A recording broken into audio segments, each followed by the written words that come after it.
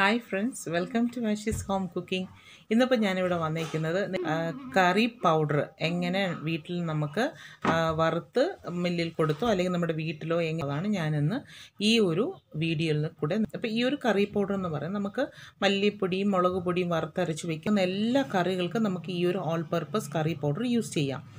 പിന്നെ ചിക്കനും non veg item ഉണ്ടാക്കുമ്പോൾ ഗരം മസാല എക്സ്ട്രാ ആഡ് ചെയ്യണം എന്നുള്ളതാണ് ഇതിന്റെ വേറൊരു പ്രത്യേകത. എനിക്ക് ഇഷ്ടപ്പെട്ടാൽ ഷെയർ ചെയ്ത് കൊടുക്കാനും മറക്കരുത്. സബ്സ്ക്രൈബ് ചെയ്യുന്ന സമയത്ത് സൈഡിലൊരു ബെൽ ബട്ടൺ കാണും. അതും കൂടെ ഒന്ന് പ്രസ് ചെയ്തിട്ട് ഓൾ എന്നുള്ള ഓപ്ഷൻ കൊടുക്കണം. എങ്കിൽ മാത്രമേ ഞാനിടുന്ന എല്ലാ വീഡിയോസിന്റെയും നോട്ടിഫിക്കേഷൻസ് നിങ്ങൾക്ക് കിട്ടത്തുള്ളൂ. ഓക്കെ അപ്പോൾ നമുക്ക് നോക്കാം. ഞാൻ ഒരു മുക്കാൽ കിലോ മല്ലി എടുത്തിട്ടുണ്ട്. മുക്കാൽ കിലോ മല്ലി നല്ലപോലെ ഇതൊന്ന് ഇങ്ങനെ ചൂടാക്കി എടുക്കുക കേരളത്തിൽ നമ്മൾ സാധാരണ കുക്ക് ചെയ്യുമ്പോൾ ഉണ്ടാക്കുന്ന ഡിഷസിനൊക്കെ നമ്മൾ അങ്ങനെ യൂസ് ചെയ്യാറില്ല. നമ്മൾ സാധാരണ മല്ലി സെപ്പറേറ്റ് മുളക് സെപ്പറേറ്റ് അതുപോലെ തന്നെ എല്ലാ പൊടികളും നമ്മൾ സെപ്പറേറ്റ് ആണ് ആക്കി വയ്ക്കുന്നത് അപ്പം കറിയുടെ പൊടി എന്ന് പറഞ്ഞാൽ നമുക്ക് അത്യാവശ്യം എല്ലാ കറികൾക്കും നമുക്ക് യൂസ് ചെയ്യാം. മീൻ കറി ആയാലും ചിക്കൻ കറി ആയാലും അല്ല മറ്റേത് കറിക്കാണെങ്കിൽ യൂസ് ചെയ്യാം. പിന്നെ നമ്മൾ ചിക്കൻ കറി വയ്ക്കുമ്പോൾ എക്സ്ട്രാ ഗരം മസാല അരിയുന്നു എന്നുള്ളതാണ് ഇതിന്റെ ഒരു പ്രത്യേകത. പ്രത്യേക ഫ്ലേവർ തരുന്ന മൂത്ത് പോകരുത്. നല്ലപോലെ ഒന്ന് ചൂടായാൽ മാത്രം മതി. അതെ അത്യാവശ്യം നല്ലതുപോലെ ഇത് ചൂടായി വന്നിട്ടുണ്ട്. ഇതിന് ഞാനൊരു പാത്രത്തിലേക്ക് മാറ്റി വയ്ക്കാൻ പോവാണ്. ഈ ചെറിയ ചെറിയ ഐറ്റങ്ങൾ കുറച്ച് നമുക്ക് വറുത്തെടുക്കണം. എണ്ണയൊന്നും ഒഴിക്കാതെയാണ് വറുത്തെടുക്കുന്നത്.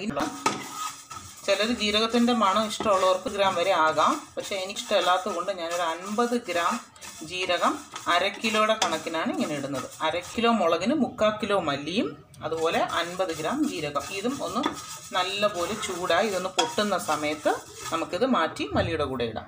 ഇനി പോകരുത്. വളരെ ശ്രദ്ധിക്കണം. കരിഞ്ഞു പോകാൻ പാടില്ല. അപ്പോൾ ഇത് നല്ലതുപോലെ മൂത്ത് വന്നിട്ടുണ്ട്. ഇത് ഇനി മല്ലിയിലേക്ക് ഇട്ട് കൊടുക്കാൻ പോവാണേ.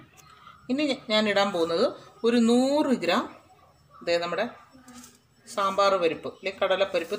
നിറം ഒന്ന് മാറി നല്ലതുപോലെ കരിയാതെ എന്നാൽ നല്ലപോലെ മൂത്ത് വരണം. അതുവരെ ഇത് നല്ലപോലെ ഇങ്ങനെ ഡ്രൈ റോസ്റ്റ് ചെയ്ത് കൊടുക്കുക. അപ്പം അങ്ങനെ ഇതും കൂടെ ഡ്രൈ നമ്മുടെ മഞ്ഞ ഞാൻ നമുക്കൊരു നൂറ്റമ്പത് ഗ്രാം മഞ്ഞ വേണം. ഞാൻ നൂറ്റമ്പത് ഗ്രാം മഞ്ഞയ്ക്ക് കുറച്ച് പൊടി ഞാൻ യൂസ് ചെയ്യുന്നുണ്ട്. ഇതിപ്പോൾ എന്റെ കയ്യിൽ മഞ്ഞയുടെ സ്റ്റിക്ക് ഉണ്ടായിരുന്നു. അപ്പോൾ ഒരു അമ്പത് ഗ്രാം ഞാൻ മഞ്ഞ കട്ടി മഞ്ഞ ഒന്ന് ജസ്റ്റ് ചൂടാക്കിയിട്ട് നൂറ് ഗ്രാം പൊടി ഞാൻ പൊടിച്ചതിന് ശേഷം ആഡ് ചെയ്ത് കൊടുക്കും. അപ്പം നിങ്ങൾക്ക് നൂറ് നൂറ് മുതൽ നൂറ്റമ്പത് ഗ്രാം പൊടി വരെ നമുക്ക് ചേർക്കാം. നൂറ്റമ്പത് ഗ്രാം മഞ്ഞപ്പൊടി പൊടിച്ചതിന് ശേഷം ഇതിന്റെ കൂടെ ആഡ് ചെയ്ത് കൊടുത്താൽ മതി. നമ്മൾ ഇടാൻ പോകുന്നത് ഒരു ഇരുപത്തഞ്ച് ഗ്രാം ഉലുവയാണ്. രീതിയിൽ കറുത്തു പോകാതെ ഒന്ന് പൊട്ടി വരുമ്പോൾ നമുക്ക് മല്ലിയുടെ കൂട്ടിലേക്ക് ഇട്ട് കൊടുക്കും. ഇനി നെക്സ്റ്റ് നമ്മൾ ഇടാൻ പോകുന്ന കടുകാണ്. അത് ഒരു അമ്പത് ഗ്രാം കടുകാണ് ഞാനിവിടെ യൂസ് ചെയ്യുന്നത്. നല്ലതുപോലെ ഇങ്ങനെ ഫ്രൈ റോസ്റ്റ് ചെയ്ത് നല്ലതുപോലെ പൊട്ടി വരുന്ന സമയത്ത് നമുക്ക് തീയിൽ നിന്ന് മാറ്റാം. ഒരു ഒന്ന് രണ്ട് മിനിറ്റ് ഈ ഗ്രാം. ഞാനിവിടെ എടുത്തേക്കുന്ന നൂറ് ഗ്രാം പെരിഞ്ചീരകമാണ്. അതായത് ഈ കുഞ്ഞ് അടപ്പിന് ഇത് അമ്പത് ഗ്രാമിന്റെയാണ് ഇതിന് രണ്ടടപ്പ് പെരിഞ്ചീരകം ഇട്ട് കൊടുക്കുക. പെരിഞ്ചീരകം ആഡ് ചെയ്ത് കൊടുക്കുന്നു.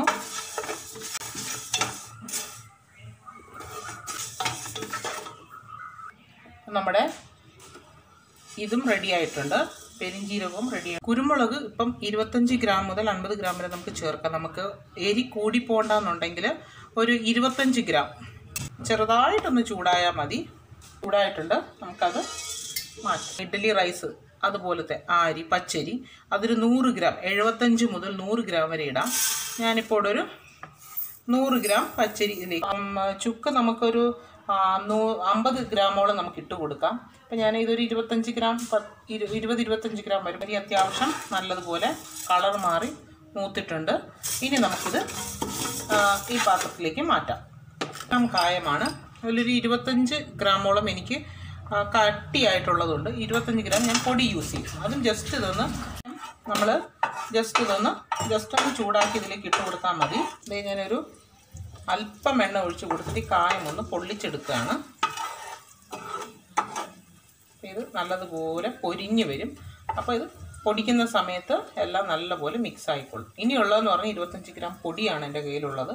അപ്പോൾ ആ ഇരുപത്തഞ്ച് ഗ്രാം പൊടിയും ഈ മഞ്ഞപ്പൊടിയും കൂടെ ഞാൻ ലാസ്റ്റ് മില്ലിൽ പോയി പൊടിച്ച് വന്നതിന് ശേഷം ഇട്ട് കൊടുക്കും. എണ്ണയുടെ മയം മാറാനായിട്ട് മാറ്റി വയ്ക്കാം ഇതിന്റെ കൂടെ ഞാനിപ്പോൾ ഇടുന്നില്ല. ഒരു ടിഷ്യൂ വെച്ചിട്ട് അതിലേക്ക് മാറ്റി വയ്ക്കുകയാണ് ഇപ്പം ഞാൻ ആ കായം ഈ ഒരു ടിഷ്യൂവിലേക്ക് ഇങ്ങനെ വെച്ചു. അപ്പോൾ അത്യാവശ്യം അതിലുള്ള എക്സ്ട്രാ ഓയിലെല്ലാം ഇത് സക്ക് ചെയ്തോളും. അപ്പോൾ നമുക്ക് അതിന്റെ എണ്ണയുടെ അംശം ഇതിനകത്ത് വരത്തില്ല. ഇത് തണുക്കാനായിട്ട് ഇപ്പുറത്ത് മാറ്റി വയ്ക്കാം ഈ സമയത്ത് നമുക്ക് മെയിനായിട്ടുള്ള ഇൻഗ്രീഡിയന്റ് ഇനി മുളക് ചേർക്കാനുണ്ട്. മുളക് നമ്മൾ ലാസ്റ്റ് വറുത്തെടുക്കും. ഇനി ചെയ്യാൻ പോകുന്നത് ഒരു ബൗൾ നിറച്ചും കറിവേപ്പില. അതും കൂടെ ഫ്രഷ് കറിവേപ്പില. ഇതിന്റെ കൂടെ ആഡ് ചെയ്യാണ്. നമ്മൾ കടയിൽ നിന്ന് വാങ്ങിക്കുന്ന കറിവേപ്പില ആണെന്നുണ്ടെങ്കിൽ കറിവേപ്പില നന്നായിട്ട് കഴുകി വെയിലത്ത് വെച്ച് ഉണക്കി എടുക്കുക ഇതുപോലെ വറുത്തെടുക്കുക. അപ്പോൾ കറിവേപ്പില ഇതുപോലെ നല്ല പോലെ ചൂടാക്കണം. അപ്പോൾ അത് നല്ല ഉണങ്ങി വരും. അപ്പോൾ കുറച്ചുകൂടെ ഒന്ന് ചൂടാ നല്ലപോലെ ചൂടാക്കണം. നല്ല പച്ച കളറൊക്കെ മാറി. തണുക്കുമ്പോൾ ഇങ്ങനെ ഇരുന്നാലും കുറച്ച് തണുത്ത് വരുമ്പോൾ മുരുപരാന്ന് വന്നോളൂ അത്. കരിക്കരുത്. ഒരു സാധനവും നമ്മൾ കരിക്കാൻ പാടില്ല. എന്നാൽ നല്ലതുപോലെ അത്യാവശ്യം മൂക്കുകയും വേണം. ഓവറായിട്ട് കരിഞ്ഞ കരിഞ്ഞു കഴിഞ്ഞാൽ അതിന്റെ മണം അങ്ങ് മാറിപ്പോവും. നമ്മുടെ കറിവേപ്പില നല്ലതുപോലെ മൂത്ത് വന്നിട്ടുണ്ട്. എടുത്താൽ ഇങ്ങനെ കിലുകിലാന്നൊരു സൗണ്ട് കേൾക്കാം. അപ്പോൾ ഇങ്ങനെ ഇട്ട് കൊടുക്കുക അതിന്റെ കൂടെ അര കിലോ മുളകാണ് എടുത്തിട്ടുള്ളത്. രണ്ട് പ്രാവശ്യമായിട്ട് നമുക്കിത് നല്ലപോലെ വറുത്തെടുക്കാം. നമുക്ക് വറുത്തെടുക്കാൻ കഴിഞ്ഞില്ല എന്നുണ്ടെങ്കിൽ രണ്ട് പ്രാവശ്യമായിട്ട് കാൽ കിലോ കാൽ കിലോ വീതം ഇത് വറുത്തെടുക്കുക. അപ്പോൾ നമ്മൾ എടുക്കുന്നത് ഇപ്പോൾ മുക്കാൽ കിലോ മല്ലിയാണെങ്കിൽ അര കിലോ മുളക് എടുക്കുക. നമ്മൾ അര കിലോ മുളക് എടുത്താൽ ആ, മുക്കാൽ കിലോ മല്ലി എടുക്കണമല്ലോ. അപ്പം നമുക്ക് മല്ലി എപ്പോഴും ഇതിന്റെ റേഷ്യോ ഒരു കാൽ കിലോ കൂടുതലായിട്ട് നിൽക്കണം. അര കിലോ മല്ലിയാണെങ്കിൽ കാൽ കിലോ മുളകാണ് നമ്മൾ എടുക്കേണ്ടത്. അപ്പോൾ റേഷ്യോ നിങ്ങൾ മറന്നു പോകണ്ട ആ ഒരു രീതിയിലാണ് അപ്പം നമ്മുടെ കേരള സൈഡിലൊക്കെ നമ്മൾ സാധാരണ ഇങ്ങനെ ഒരു പൊടി നമ്മൾ ഉണ്ടാക്കി വെക്കലില്ല. ആക്ച്വലി ഇത് തമിഴ്നാട് കർണാടക ആ ഭാഗങ്ങളിലെല്ലാം ഒരു കറിപ്പൊടി അല്ലെങ്കിൽ കറിപ്പൊടി എന്ന ഒരു കറി പൗഡർ അല്ലെങ്കിൽ സാമ്പാർ പൗഡർ മിളകായ്ത്തൂൾ എന്നൊക്കെ അവർ പറയും. അപ്പോൾ അത് ഇങ്ങനെയാണ് അവർ ചെയ്തെടുക്കുന്നത്. ഓരോരുത്തർ അവരുടേതായിട്ടുള്ള ഒരു സ്റ്റൈലിലാണ് ചെയ്യുന്നത്. ഇപ്പം ഞാനും അതിനകത്ത് കുറച്ച് മോഡിഫിക്കേഷൻസ് ഒക്കെ വരുത്തി എന്റേതായിട്ടുള്ള ഒരു സ്റ്റൈലിലാണ് ഞാനിതിപ്പോൾ ചെയ്തേക്കുന്നത്. ഇതിപ്പോൾ നമുക്ക് നല്ല വെയിലുണ്ട് എന്നുണ്ടെങ്കിൽ ഇതെല്ലാം കൂടെ നമ്മൾ വെയിലത്ത് രണ്ട് ദിവസം വെച്ചാൽ തന്നെ മതിയാവും. ഇങ്ങനെ നമ്മൾ ഗ്യാസിൽ ചൂടാക്കാൻ വേണ്ടി ആവശ്യമില്ല. പിന്നെ നമ്മൾ വെയിലത്ത് വെച്ചതിന് ശേഷം ഒന്ന് ഇതുപോലെ ഒന്ന് പെട്ടെന്നൊന്ന് റോസ്റ്റ് ചെയ്തിട്ട് നമ്മൾ ഒന്ന് തണുത്തതിന് ശേഷം മില്ലിൽ കൊടുത്ത് പൊടിക്കുകയാണെങ്കിൽ കുറച്ചുകൂടെ നല്ലതായിരിക്കും. ഒരു പക്ഷേ വെയിലടിക്കുന്നത് അതിനെക്കാട്ടിൽ നമ്മളൊന്ന് ഡ്രൈ റോസ്റ്റ് ചെയ്യുമ്പോൾ ഒരു പ്രത്യേക മണം വരുമല്ലോ. നമ്മൾ സാധാരണ മസാലയൊക്കെ ഉണ്ടാക്കുമ്പോൾ മുളക് പൊടിയൊക്കെ ഒന്ന് ചൂടാക്കി എടുക്കുന്നത് പോലെ രണ്ടും നമ്മൾ വറുത്തെടുത്തിട്ടുണ്ട് ദേ നല്ലതുപോലെ പൊട്ടി ഇങ്ങനെ വരുന്നുണ്ട്. ഇതിപ്പോൾ അത്യാവശ്യം ചൂടിലാണ് ഇരിക്കുന്നത്. തണുത്തതിന് ശേഷം മില്ലിൽ കൊടുത്ത് പൊടിച്ചുകൊണ്ട് വരാം. പൊടിച്ചു വന്നതിന് ശേഷം പിന്നെ എന്താണെന്നുള്ളത് നമുക്കത് എന്താ ചെയ്യേണ്ടതെന്നുള്ളത് പറയാം. അപ്പോൾ മെല്ലിന് നമ്മളത് പൊടിച്ചു കൊണ്ട് വന്നിട്ടുണ്ട്. ഇനി ഇത് കുറച്ച് നേരം തണുക്കാനായിട്ട് വെക്കണം. അതിന് മുന്നേ നമ്മൾ ഇതിനകത്ത് നൂറ്റമ്പത് ഗ്രാം മഞ്ഞപ്പൊടി മഞ്ഞയാണ് അരച്ച് ചേർക്കേണ്ടിയിരുന്നത്. അമ്പത് ഗ്രാം മഞ്ഞ കട്ടിയായിട്ട് അരച്ചെടുത്തു. ഇനി നമുക്ക് ഒരു നൂറ് ഗ്രാം മഞ്ഞപ്പൊടി ഇതിന്റെ കൂടെ ആഡ് ചെയ്യണമെന്ന് പറഞ്ഞിരുന്നല്ലോ. അപ്പോൾ അത് ഇപ്പോൾ ആഡ് ചെയ്ത് കൊടുക്കുകയാണ്. നൂറ് ഗ്രാമിന്റെ ഒരു പാക്കറ്റ് ഇതിലേക്ക് ആഡ് ചെയ്ത് കൊടുക്കും.